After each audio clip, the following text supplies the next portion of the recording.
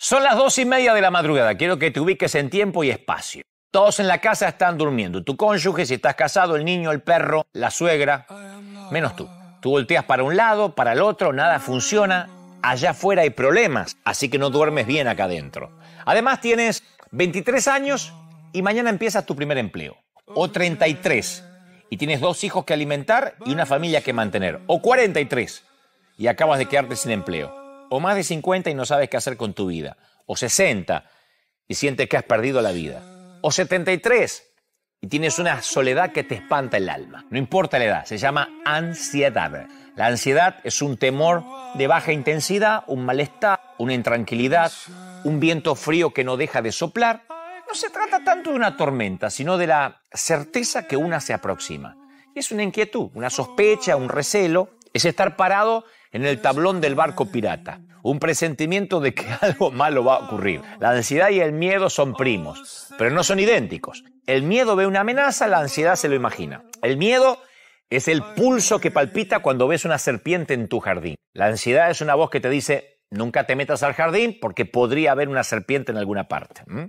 Entonces la ansiedad nos roba el aliento, pero también el sueño, la energía, nuestro bienestar. La ansiedad nos obliga hacer contorsionismo emocional, porque la mitad de las enfermedades provienen de la ansiedad. Ataques de pánico. El pecho te aprieta, te sientes mareado. Algo en el estilo de vida que estamos llevando nos está robando la calma y la serenidad. Vivimos tensos. Hace 27 años yo me quedé sin empleo, salí desesperado a hacer lo que sea, pedí empleo para hacer hamburguesas en una estación terminal de trenes. Y leí en un puesto donde se hacían eh, sándwich, decía, si la vida te da un limón, haz limonada. Yo sé que la vieja, la vieja frase fue acuñada hasta por nuestras madres. Yo sé que el eslogan es popular y cursi, pero yo no lo había escuchado hasta ese entonces. Y eso me ayudó a sobrevivir. Casi pasaron tres décadas desde que perdí el empleo. Pero hay algo que sigue igual, la vida todavía da limones. Y la vida le da limones a la gente buena, a la gente mala, a la gente vieja, a todo el mundo. La vida viene con limones. El tema es que no tienes que, que comértelos. Así que yo quiero que hoy repitas esta resolución. No tengo que revivir el ayer, voy a aprender de él. Buscaré misericordia para el ayer, pero no voy a vivir en el pasado. El sol ya se puso ayer. El sol todavía no salió en la mañana. Hasta mañana no puedo cambiar el mañana. Hoy voy a vivir el hoy. Y voy a enfrentar los desafíos de hoy con las fuerzas del hoy. Bailaré el vals de hoy con la música de hoy. Voy a reír y voy a bailar hoy. Y cuando llegue la mañana, el sol volverá a salir. ¿Te quedan pocos días de vida? ¿Qué vas a hacer en esos días? No esperemos tener un diagnóstico médico, metástasis o tener algo malo en el cuerpo para decir, pucha, voy a aprovechar la vida. Hay que hacerlo antes, mientras tengamos salud. Si supiéramos que nos queda una semana de vida, ¿en qué emplearíamos el tiempo? Porque eso siempre nos hace reflexionar mucho, pero ¿y si pudiéramos saber antes cuándo nos vamos a ir? ¿Cómo, cómo invertiríamos nuestro tiempo? Porque a veces aprendemos muy tarde lo que es verdaderamente importante. Cuando la situación es adversa y la esperanza poca, las determinaciones drásticas son las más seguras. Claro, porque la vida nos exige continuamente tomar decisiones y nos demanda nuevas respuestas. Y uno tiene que acostumbrarse al cambio, al fluir, a adaptarse. Y siempre estamos expuestos a tener que tomar decisiones. Tomar buenas decisiones es uno de los aprendizajes más importantes y complejos que tenemos las personas. Y todas las decisiones son esenciales para crecer. No sé si sabías, seguramente sí, que el águila llega a vivir 70 años. 70 años la tipa. Pero para llegar a esa edad, a los 40, toma una decisión muy seria. Las uñas están apretadas y flexibles y no consiguen tomar las presas para alimentarse. Su pico largo, puntiagudo, se va curvando, apunta contra el pecho, las alas están envejecidas, eh, las plumas gruesas. Entonces volar se le hace difícil tiene dos alternativas, o morir, dejarse morir, o enfrentar un proceso de renovación que le dura 150 días, que consiste en volar lo más alto que puede de una montaña, quedarse en el nido, y después empieza a golpear su pico en la pared hasta que se lo consigue arrancar. Y tiene que esperar que le crezca un pico nuevo con el que va a desprender una a una sus uñas viejas. Y cuando las nuevas uñas comienzan a nacer, empieza a desprender las plumas viejas. Después de cinco meses, parece que sale de una cirugía plástica.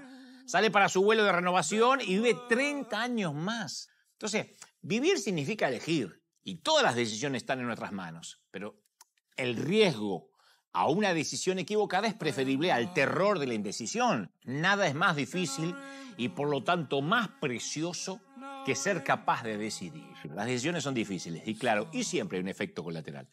Es imposible decir, bueno, yo decido y no va a pasar nada. No, algo siempre va a pasar, siempre. algún, algún efecto causamos. Lo peor que nos puede pasar en la vida es ser pusilánimes, es dejar que la vida nos pase, ¿viste? Que la vida simplemente vaya ocurriendo y un día nos damos cuenta que estamos más cerca del arpa que de la guitarra. Un día estamos más cerca de la tumba que del útero, más cerca del sepulcro que, que de la cuna. Y ahí nos damos cuenta que, pucha, teníamos que haber decidido más. Teníamos que haber arriesgado un poco. Y arriesgarte significa ponerte ahí en el ojo del huracán, donde la gente, viste, viene, te critica, o no. Pero es parte de la vida. Es parte de tener las prioridades claras. Claras. Cómo, viva, cómo vas a vivir, cómo te vas a morir, qué vas a hacer en esta vida. Creo que son cosas determinantes. El tiempo no espera a nadie, señores hay que aprovecharlo. El tiempo es un gran timador que nos hace creer que podemos dejar para mañana lo que tendríamos que hacer hoy.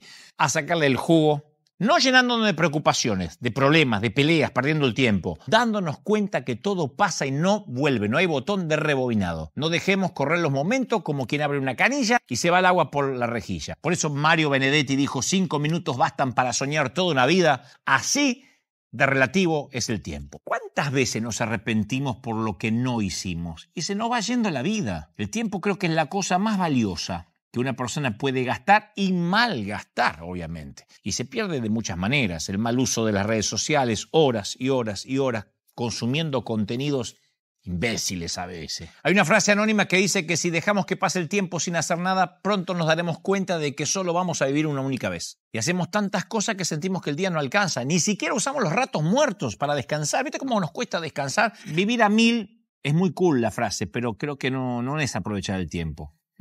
Y tampoco es gratis, ¿eh? Llega siempre la factura. El ocio es imprescindible para reparar ese gasto que creo que significa estar conectados a todos. ¿viste? no son ratos para no hacer nada, sino al revés, son ratos para hacer nada. Recordar que nos vamos a morir va a ayudarnos a recuperar la idea del momento, del instante. El alma tiene dos enemigos, el después y el mañana. Si nos metemos por el camino del después, acabamos en el camino del nunca. Soltar duele. ¿Cómo que no, caramba? Se va una parte de nosotros. Pero hay una frase, hay una frase que dice, Sentir dolor no es lo mismo que sufrir. Soltar significa desapegarse de alguien o algo que nos tiene anclado, porque somos de acumular. Hay que aceptar de que hay cosas que no podemos poseer e inevitablemente, claro, eso conlleva un sentimiento de ruptura, de pérdida. Estamos de paso, hay que dejar los muebles atrás, ¿no? Porque aparte no nos llevamos nada de este mundo. Nunca vamos a ver un camión de caudales que sigue detrás de un cortejo fúnebre, nunca. No nos llevamos nada. Al soltar, hay que rajarlo de la casa es dejar atrás aquello que alguna vez me sirvió, pero que hoy no tiene sentido en el nuevo camino. Hay que apostar a que hay nuevos sufrimientos, sí, porque la vida no es un paseo por el parque. Pero bueno, habrá que encontrarle nuevas soluciones. Y algunas personas piensan que aferrarse a las cosas les hace más fuertes. Pero a veces se necesita más fuerza para soltar que para retener. Entonces es disfrutar de lo bueno y aprender de lo malo, pero sin quedarnos atrapados en esa red. Hay que ser feliz lo más que se pueda, eh, ser minimalistas, saber que estamos de paso, todos estamos en tránsito. Por eso, amigo, aprendamos a soltar. Y recordaba hoy aquel psicólogo que estaba en una sesión grupal, levantó una taza o un vaso de agua y dijo, ¿cuánto pesa esta taza? ¿Cuánto pesa este vaso? Y las respuestas variaron entre 200 y 250 gramos y el psicólogo respondió, el peso absoluto no es importante, depende de cuánto tiempo lo sostengo. Si yo lo sostengo un minuto, no es problema. Si lo sostengo una hora, me va a doler el brazo. Si lo sostengo un día, mi brazo se va a entumecer, se va a paralizar. El peso del vaso no cambia, pero el tiempo en que lo sujeto hace que sea más pesado, se vuelve más difícil de soportar. Y después continuó. Las preocupaciones, las presiones y el descontento son como el vaso de agua. Si pensás en ellas un ratito, no pasa nada. Si pensás un poco más, empiezan a doler. Si pensás en el, en el vaso todo el día, acabas sintiéndote paralizado, incapaz de hacer nada, ¿no? Entonces, ¿cuánto pesan nuestras vidas? A veces es como llevar una mochila. ¿Y qué le ponemos dentro? Si le ponemos mucho peso, no podemos movernos. Entonces, ¿es un elemento de experiencia, de conocimientos, de avance o es un elemento de estancamiento? Porque a lo largo de la vida vamos acumulando cosas, qué sé yo, penas, alegrías, tristeza, nostalgias, amores, que un día fueron todo en nuestra vida y hoy, por diversas razones, se quedaron solo en eso, en recuerdos. Y nosotros cargamos esas mochilas todos los días y hacen que todo pese más de lo debido. ¿Qué sería bueno descargarnos de muchas de esas frustraciones y desamores para caminar más livianos.